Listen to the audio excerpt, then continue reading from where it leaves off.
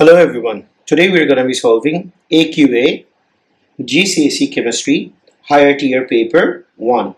Guys, in this video we're solving June 2019 and this is the part 1 video where we are solving from question number 1 to question number 3. This question is about the periodic table. In the 19th century, some scientists tried to classify the elements by arranging them in order of their atomic weights. Figure 1 shows the periodic table by Mendeleev produced in 1869. His periodic table was more widely accepted than previous versions. Okay, guys, we can see that uh, elements are arranged in groups. We can say elements are arranged in periods. The atomic weight of tellurium is 128 and the iodine is 127. Why did Mendeleev reverse the order of these two elements? Guys, the reason why Mendeleev reversed the order of these two elements is because iodine has similar properties to that of fluorine, chlorine, bromine, whereas tellurium had similar properties that was close to selenium, sulfur or oxygen. So that's why he reversed the order.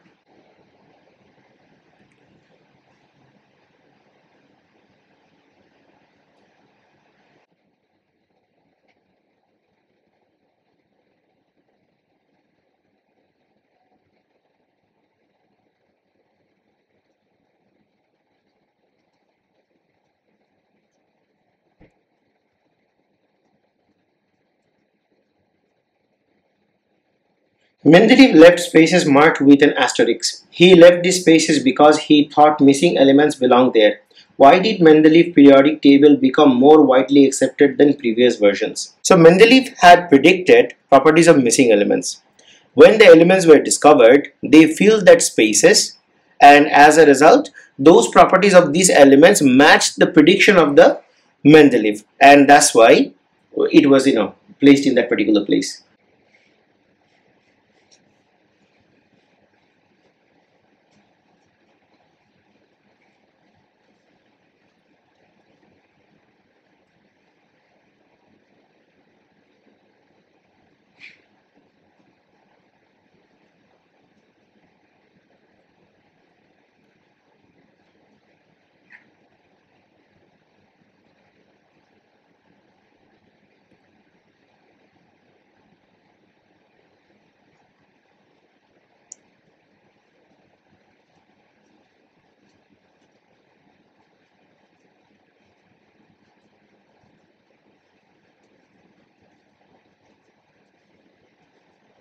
Mendeleev arranged the elements in order of their atomic weight.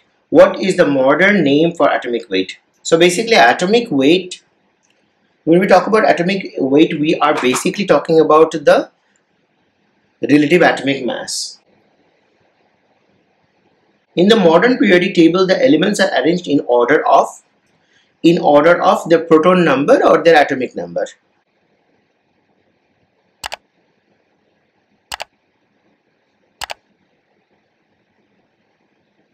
Chlorine, iodine, astatine are in group 7 of the modern periodic table. Astatine is below iodine in group 7. The formula of an astatine molecule, the state of astatine at room temperature. The formula of astatine molecule. So, you see, the formula will be AT2 similar to that of uh, fluorine, chlorine, bromine. Alright, and when it comes to the state at room temperature, if we notice iodine, iodine is solid at room temperature. So thereby astatine is below iodine, thereby it should be solid at room temperature.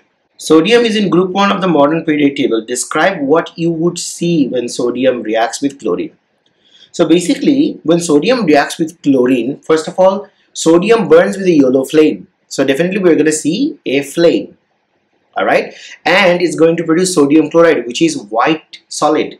So we will see white solid being formed.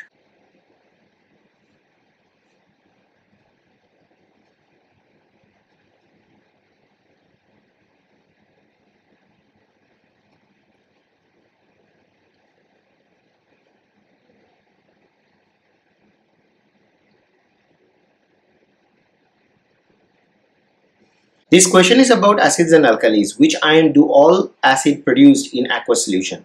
So guys, acid means H plus ion. Thereby, this one will be the correct answer. Calcium hydroxide solution reacts with an acid to produce calcium chloride. We, uh, we need to complete the word equation for this reaction. Guys, whenever we are making the uh, salt chloride, we have to have hydrochloric acid. So we will write here hydrochloric acid and calcium chloride and water will be produced. A student investigates the volume of sodium hydroxide solution that reacts with 25 cm3 of dilute sulfuric acid. Figure 2 shows the apparatus the student uses. We can see the apparatus that is used is a burette here to put the sodium hydroxide and the conical flask is holding dilute sulfuric acid which is 25 cm cube. Name apparatus A. So guys apparatus A is a burette. What is the reading on apparatus A? To read apparatus A, we will have to read from the top side down. So 27.1, 27.2, 3, 4, 5 and then 6. So this reading will be 27.6. We have to read the lower meniscus. The higher the concentration of a sample of dilute sulfuric acid, the greater the volume of sodium hydroxide needed to neutralize the acid. The student tested two samples of dilute sulfuric acid P and Q. Describe how the student could use titration to find which sample P or Q is more concentrated. Okay guys, this is a very good question. In a question like this, we would have to have a method of how we are going to find out, all right, uh, that uh, which acid is more uh, concentrated. So first of all, we'll measure the volume of the acid. So let's say in this case, we're measuring the volume of the acid to be 25 cm3. And then we're going to add an indicator to the acid. We're going to add sodium hydroxide solution into the burette. All right, we're going to add the sodium hydroxide solution from the burette into the uh, acid until the color changes. In every experiment, we are going to use same volume of sodium hydroxide, same concentration of sodium hydroxide solution and then what we are going to do is we are going to record the volume of sodium hydroxide solution all right and repeat the procedure with the other acid solution that we have. Okay.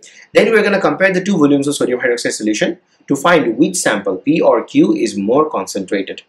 All right some points that extra points that we can include throughout the process is that when measuring the volume of acid we can use a pipette to measure the volume of acid which is fixed 25 cm cube and we can you know uh, like you know we can uh, do some swirling all right for the indicator to mix okay? And we can say that you know a uh, few drops of indicator is used.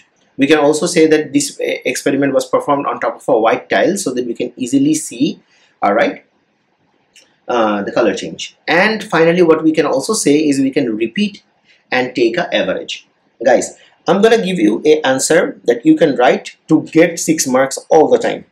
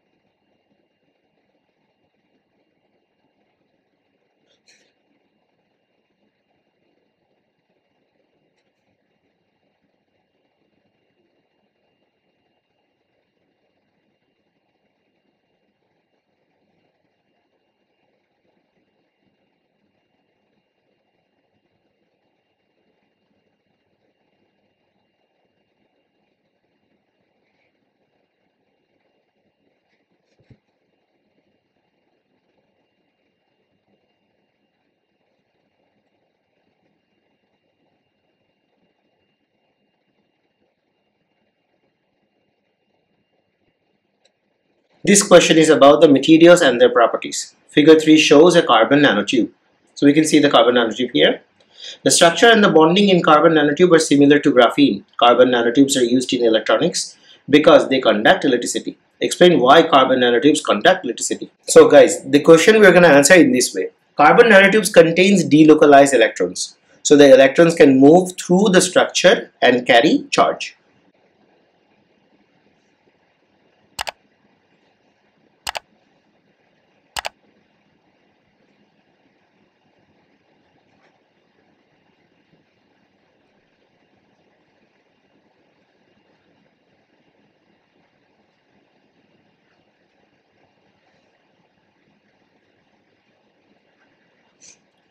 Figure 4 shows a badminton racket. We can see the frame. The table 1 shows some properties of materials. The materials could be used to make badminton rackets are given below. We can use aluminium with a with certain density and then carbon nanotube. We can use wood. Alright, guys, we can see that the carbon nanotube relative strength is very high and relative stiffness is also very high okay and density is relatively low however the lowest density is given by wood all right but relative strength is very low and stiffness is also very low. Evaluate the use of materials to make badminton racket frames. When it comes to in terms of density guys we are gonna say all right wood is the least dense all right so it is the lightest to use. Aluminium is the most dense all right so it will make the racket too heavy. Carbon nanotube is the strongest, so least likely to break because you can see the relative strength is very high for carbon nanotube in this case and the stiffness is very high as well. So aluminium and wood are too weak so that the racket will break more easily. Carbon nanotube is the stiffest so least likely. So the, guys I'm giving you a particular answer. You can write this answer most of the time. Alright uh, and it will always cover up all of your points and you will get a, uh, the best score.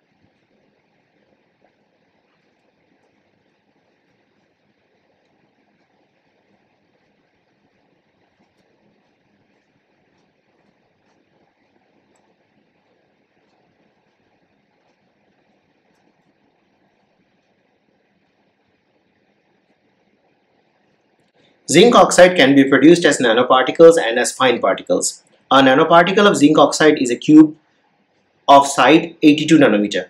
Figure 5 represents a nanoparticle of zinc. We can see 82 nanometer. Calculate the surface area of a nanoparticle of zinc oxide. Guys, in a question like this, if we need to find out the surface area, we need to know that there are six faces, all right, of a particular cube and each face will have 82 nanometer times 82 nanometer to find out its surface area for one side.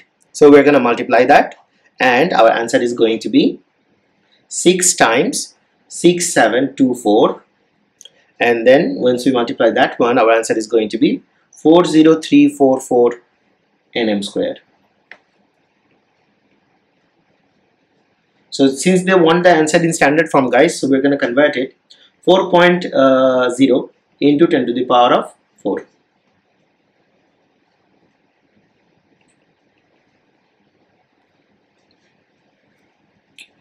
Some sunscreen, some sun creams contain zinc oxide as nanoparticle or as fine particle. Suggest one reason why it costs less to use nanoparticle rather than fine particles in sun creams.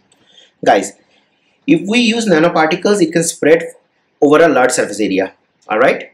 So we need less for the same effect.